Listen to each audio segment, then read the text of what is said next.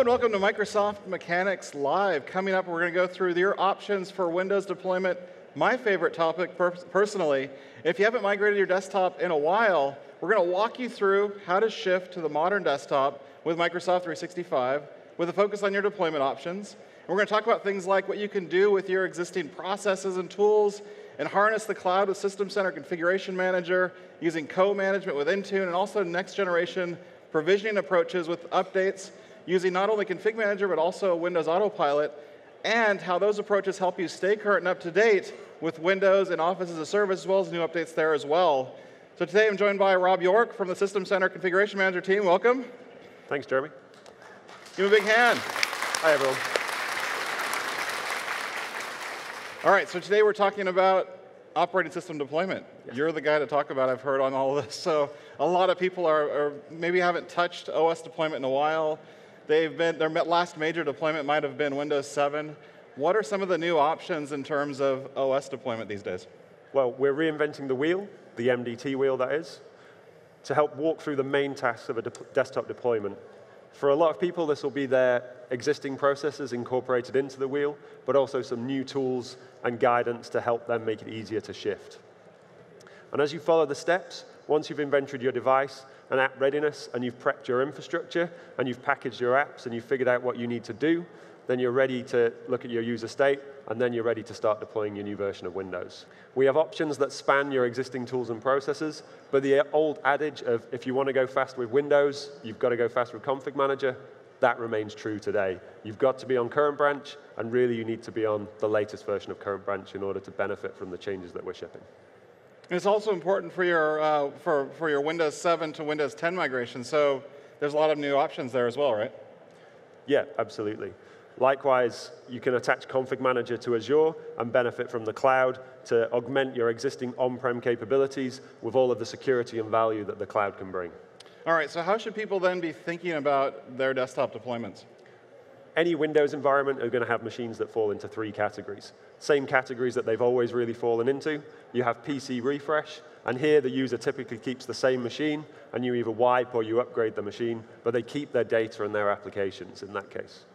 We also have new PC, slightly more straightforward. It's a brand new PC. There's often less to worry about, especially for new users coming into the organization. There's no data to move in that instance. And then finally, PC replacement. You're either reassigning existing hardware to a new user, or you're giving an existing user a new PC, maybe because it was lost or stolen. So again, data might not be a consideration in that case. And so today we're going to cover all three of those scenarios, PC refresh, PC, new PC, and PC replacement. But these are all really common to really any environment. What's, what's new across these options? And why don't we start with, uh, with PC refresh? What's new there? So currently, if you're using Config Manager, you're probably using a task sequence, and hopefully an in-place upgrade task sequence that preserves user files and settings.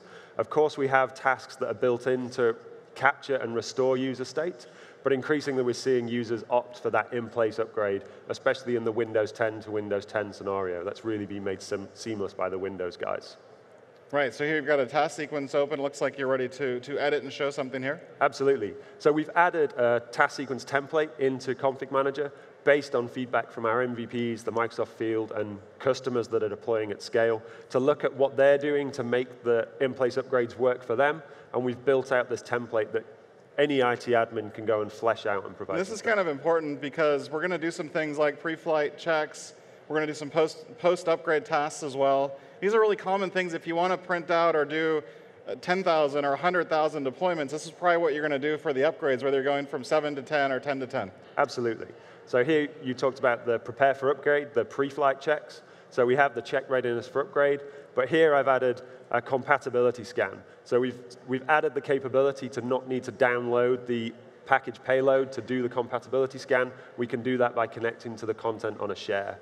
We then move into the next phases of the prepare for upgrade, and I know that my application, my Contoso line of business application, that's, that's not going to work on my new version of Windows, so we go ahead and uninstall that.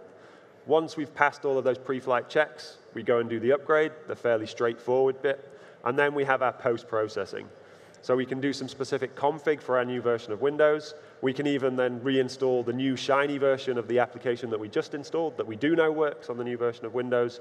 And then we can also install Office 365. And some of the cool things here, some of the things to really, to really note. First off, pre-flight wise, things like things to pay attention to, hard disk encryption. Is your hard disk encryption going to work? Can you pause it, I guess, coming from, say, a Windows 7 machine that's got third-party disk encryption, and what's it going to look like when you come out of that in Windows 10? Are there apps that you have to replace then as part of the task sequence? How does that work? And then finally, if you've got things like VPN or AV software, what do those look like on the Windows 7 side into the Windows 10 side, and sometimes even the 10 to 10 side, depending on the, the vendors of the VPN or the AV products. And then one of the cool things I think with Upgrade that wasn't really possible in the past, because you would have normally paved the drive or, or replaced a lot of files, is that you can actually roll back Absolutely. upgrade. So that's where we are now. If the worst happens, we have the ability to intelligently realize in the task sequence and pick up on that failure. So first of all, we can go ahead and reinstall that previous version of Contoso line of business app so that the user gets the application back that we removed, but then also to help you with your troubleshooting. So we're going to go and collect the logs. I've added some steps to specify the username and password that are specific to my environment, capture the logs, store them off to a server share in a particular location. And then finally, we can run SetupDiag. We've worked with the SetupDiag team to make sure that that runs natively and works and is supported within the task sequence, again, to simplify your troubleshooting when the worst happens. And one thing I want to point out here as well that, that we're going to see in a bit is the Office customization tool now has an option that lets you basically remove the MSI versions of Office. So let's say you've got a Windows 7 machine with Office 2010 installed. If you use the remove MS, MSI versions of Office as the default setting, literally in the OCT that we'll see in a minute, that's actually going to remove, it's going to run effectively what you might have run in the past with things like OffScrub, then install the click to run build of Office. So then you're up and running with the new version of Windows, with the newest version of Office, and ready to go. Absolutely, and that runs as part of my post customization. So Office 365 is installed, and the settings specified in the Office customization tool mean that we'll go and remove Office 2010 if it's there. So what are the what kind of upgrade packages do we then use when we're, we're going to actually do an upgrade? Because it's different than an install.wim or something you might have customized. How does that work? Absolutely. So in the upgrade operating system step, we're actually using what we call an operating system upgrade package. If people are familiar with 2007, it's the same as what we used to call operating system install packages. It's an extract of the ISO, so it contains all the source media for the new version of Windows. We support you injecting updates and customizing via DISM, the WIM file, but it's not supported to make custom customizations that require you to recapture the image. So don't think that you can layer in applications as part of that in-place upgrade. All right, so we've seen the whole process. We've, we've talked about the package type for the upgrade. Now we're, we're ready to actually move on to the next step. And, and we've seen that we've seen the, the logs as well. So the other things that you can do after, you know, after the, the config manager part's over, you can use it for a normal, normal replacement task sequence as well. And that's just, that's just what you would normally do, not using the upgrade task sequence if you do want to if you do want to replace what was on the drive. And the nice thing with these templates, in this case, because it is a template, some of these folders might be empty to start with, but at least we're giving a nice kind of trail of clues effectively as to what you would put in there and suggestions effectively as Absolutely. to what you'd put in those templates. And these are all things that we've heard from user voice uh, from the config manager side. So thank you if you're part of user voice and giving us that feedback because a lot of this stuff, Rob, Aaron from the team have actually built into the product. So what are some of the other updates that we can do from a config manager aspect to help with PC refresh? Network optimizations are a big one that improve OSD and all the other features. Config Manager Peer Cache, we've added native peer-to-peer -peer capabilities so that you can share content between clients on the same subnet in a branch office location and to serve that content to one another without the need for a local distribution point. This also works within Windows PE, so once the client's got, once the first client in the subnet's got the content, it will then become the peer for the clients that are being built alongside it. And then recently, we've added support for Windows Server 2016 LEDBAT. And if you've not looked into LEDBAT, this is a true network optimization that uses the most of the available bandwidth without impacting foreground traffic and affecting your user and their line of business activities. So the nice thing here as well is basically what's happening with LEDBAT is one of my favorite things. It's actually yielding to all the foreground traffic. It's letting basically config manager use the background traffic as much of the of the network bandwidth as possible, not quite 100%, but almost there. And then basically it will yield to any foreground task. There's even, um, it's even really easy to actually get that configured in Configuration Manager. It's just part of the General tab if you're using a new build of current branch, part of the reason why you're going to want to go to current branch builds of Config Manager. But I know there are other options in terms of connecting SCCM and Config Manager or, or Config Manager to Azure services. So what are some of the options there? Absolutely. We, we want to allow customers to bring the value of the cloud to their on-prem existing SCCM environment. And traditionally, Config Manager was limited to the local network, maybe to the VPN to give you management of your clients as they were on the internet. But now with Azure Cloud Services and SCCM, you can manage those clients wherever they are in the world. As long as they have an internet connection, we're able to manage them through Cloud Management Gateway and Cloud Distribution Point. One of the big changes that Cloud Distribution Point represents for customers is a move from a fixed price model of buying a server and putting it on a network location to having this pay-as-you-go cloud service where you're paying for the content that you're delivering to your clients. But with the customers that I've spoken to, the risk of sticker shock hasn't translated to actual sticker shock. Really, it's, it's the fear of the unknown. So look at the pricing for Azure, and you'll see that data is very, very cheap, and actually, it, it, works out very cost efficient for customers to manage those internet-facing clients. And the nice thing is here, as you can see here with the Cloud Management Gateway, basically, you can use this to actually configure the Cloud DP as well in one, in one um, modal here that we see. If you've got the CMG running, that's going to proxy into your on-premises policies. And Cloud DP obviously lets you use basically Azure as a distribution point to be able to deliver uh, packages to any client, however they're, however they're connected to the internet effectively. Absolutely. In 1806, we've merged the two roles, so you can have a cloud management gateway and a cloud distribution point in the same Azure role. It reduces the complexity, it reduces the number of certificates that you need, just makes it easier for you to deploy one thing, have internet-based client management. And the other cool thing is that the content is coming from Azure Blob Storage. So it makes the Cloud DP very, very scalable. It's not being delivered via the VM that sits at the front of the Cloud Management Gateway. The clients have been redirected to Azure Blob Storage. It's really, really fast and really, really efficient. And remember, most of these updates, you're going to need Config Manager, Current Branch. Is everybody in here on Current Branch right now? Pretty much? So if you're not on Current Branch, this is where some of this new stuff lights up, stuff like LEDBAT, stuff, the, the, uh, the update here to Cloud Management Gateway and those configurations. So uh, let's move on, though, to another common Windows deployment scenario. We've just talked about PC refresh. That's going to be, for a lot of people, maybe 80% of their estate as they move to Windows 10. What about new PC? This is usually when you purchase a new PC. The user might not have user state or might not want to keep or retain that user state. Um, what do we do there in terms of uh, new PC scenarios? So customers can continue to use SCCM and operating system deployment as they've been used to for probably the past decade. That's not going anywhere. But what this often has meant is that IT admins are spending a lot of time, money, and expense creating, maintaining, and just generally looking after the images that they need to roll out into their environment. So we developed Windows Autopilot to help you get out of that business of developing and maintaining your images and this allows you to work with your OEMs to ship the device directly to the user with that signature image so that they can have a device provisioned straight into a secure and productive state without the need to go through that time and expense of creating, shipping, and maintaining those images. Right, and the nice thing is you also get Azure AD Join as part of this. So the great thing is once these PCs are in, then basically as they're kind of re reassigned to other people, they will have the benefit of basically having a, a, a build that's going to be compliant to your policies. The autopilot service will then see them, configure them, and make them business ready uh, as, as it would normally do as part of the new PC scenario, even as you reassign those to other users. So now I want to show you how this is all set up actually on the Intune side. So here in my PC, I've actually got, um, I've got the device management portal open. By the way, if you're not using the device management portal, it's devicemanagement.azure.portal.com or portal.azure.com, sorry, devicemanagement.portal.azure.com.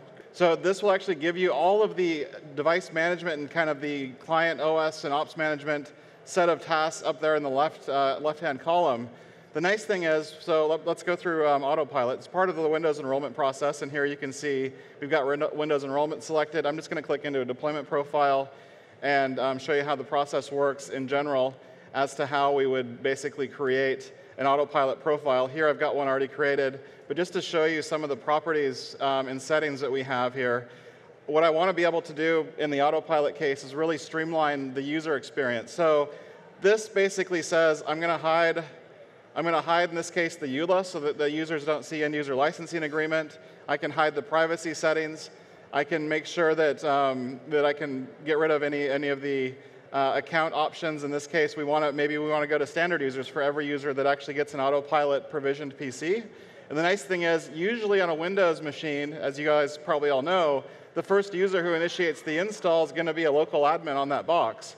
Now with Autopilot, we have the ability to make sure that that first user is a standard user. So once they connect to the internet, once we see that that device has been basically uh, attached to our tenant, our Azure AD tenant, then we'll say, okay, let's customize the install process. Uh, let's customize OOBE. And now it's going to apply all these settings to that machine. The user goes through a customized experience. Intune sees it, enrolls the device, does all the rest of the, um, the policy management, the, the app provisioning, all of those things until it's business ready. So the other cool thing with this is we've got, we've got a lot of great partners on board. Right now we've got Surface on board doing this right now from, from Microsoft, as well as Lenovo and Dell that are, that are ready with more coming.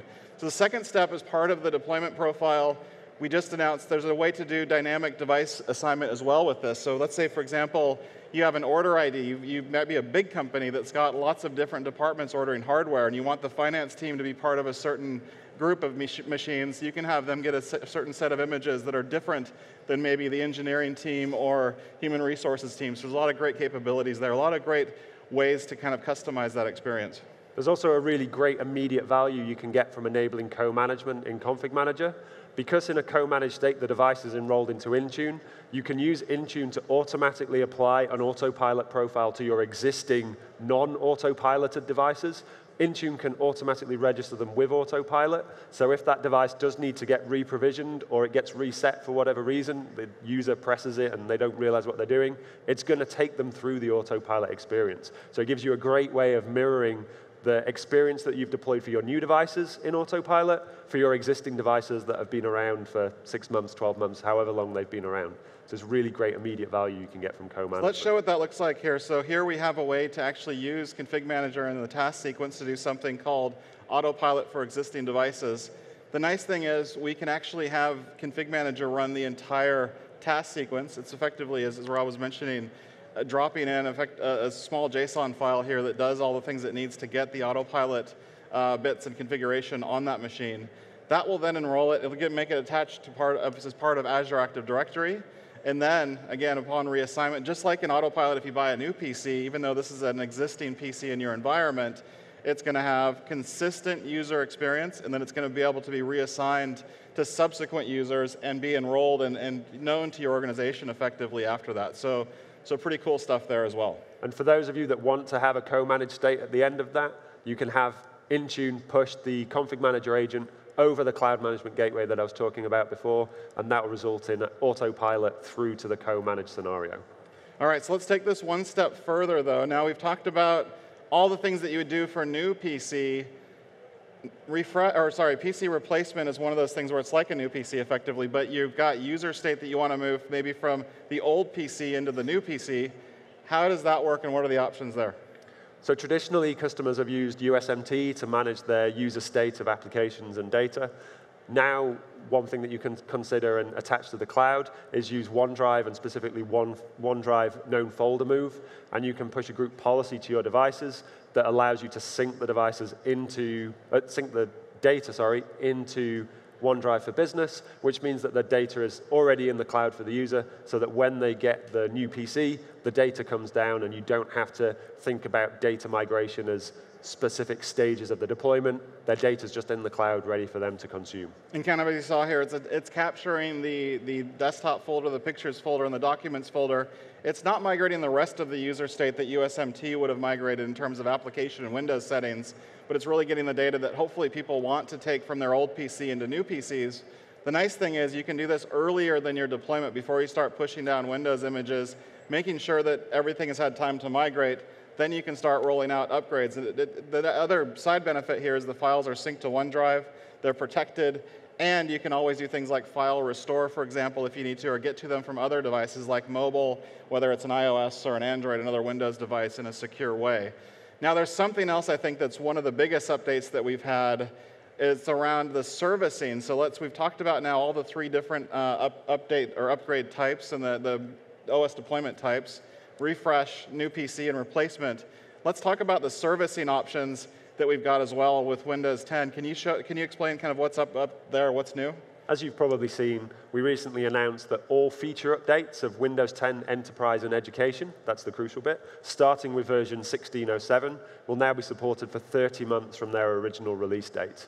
And going forward, all future feature updates, starting with 1809 and that target a September release, will be also supported for 30 months from their release date. Future feature updates that start with 1903 targeting a March release will be, continue to be supported for 18 months. So it's that split mechanism of 18 and 30, depending on when they. And release. that's also the same with Office 365 Pro Plus. So lots of really good updates here in terms of the update, the feature updates, and the, the model there in terms of having more months of support per build. You can now skip a year, sometimes two years between major OS releases. So we've we've covered all the different deployment options today. Thank you, thank you for joining us. Hopefully this is enlightening for a lot of people that are looking at their migration. Of course, you can catch more on the Desktop Deployment Center, Center, something that's brand new, where you can learn about all the steps that we talked about today. We just released this onto GitHub and onto docs.microsoft.com. One other thing I want to talk about is the brand new Desktop Deployment Essentials series that we also launched with Brett Anderson and me presenting all the steps that you just saw on the desktop deployment wheel. So all these things are available now that you can start looking at, you can start reading, doing, doing all the research for your deployment. Hopefully this, this will help you in terms of your journey to get to Windows 10 and staying current in Office 365 Pro Plus. And these are all things that we've built for you, for the IT admins out there that are getting, uh, getting modernized on, on the desktop infrastructure. So hopefully this, this helps you out in terms of your, your journey into Windows 10 and Office 365 Pro Plus. That's all the time we have for today's Mechanic Show. Thank you, Rob, for joining us today, Thanks, and we'll see you next time. Thanks, everyone.